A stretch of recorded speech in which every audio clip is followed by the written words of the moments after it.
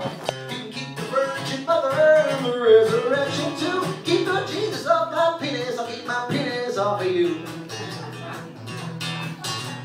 Well, I'm freaking sick and tired of turning on the news and seeing religious rights ungodly fight to take our right to choose when to bear our children, who to love and how, education and protection if we're just practicing for now.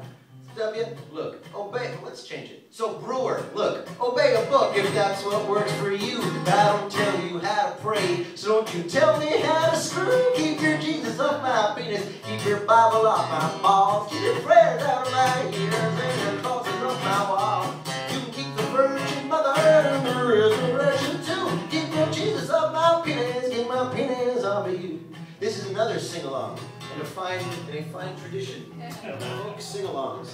So please feel free. You don't even have to have a penis.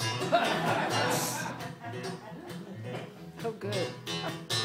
So you're screaming bloody murder about the Taliban regime, subjugating women, being too extreme, basing legislation on some ancient holy book. That sound a bit familiar? Here's a mirror. Have a look. And as for the Ten Commandments, they need one more at least. Thou shalt never cover up the acts of pervert priests. Ah. Penn State, yeah. Lynched. What? No, not in this crowd. That's the next verse.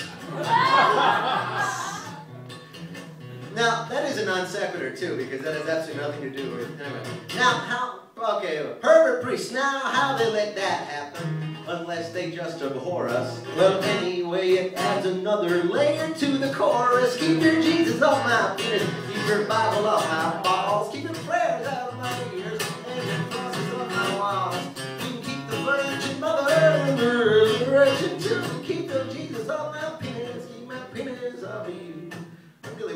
sign interpreter. There's so much fun on this song. Uh, you fuck with them. They have they have to do it. They have to they have to say exactly what you say on this song. You know, penis. Do you know how many words there are for penis? It's amazing. That that makes sense. There's a lot of words in, in English too, aren't there? Think of it. But I didn't know about the one. I just because start going cock, big monster cock. And you're like, cut that out, stop, because she has no choice. She's like she's a marionette. So you'll execute a person. so you'll execute a person and then protect a single cell. But mercy killed the terminally ill, and you're going straight to hell. I don't know much about the Word of God. Far be it from me, but I can tell you what it ain't. Hypochristianity. now, I am not anti-Christian before you grab a rope. There is beauty in religion and joy and love and hope. We're all looking for the answer, that colossal cosmic cause. But who the fuck are you to turn your myths into my laws?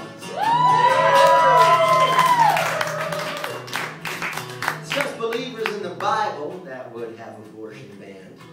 Anti-choice agnostics, I could count them on one hand.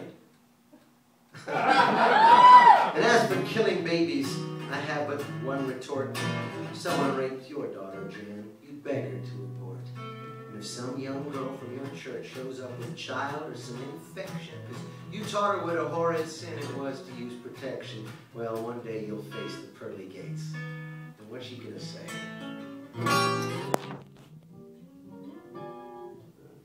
When that long-haired Jewish peacenik sends your ass the other way, keep your Jesus off my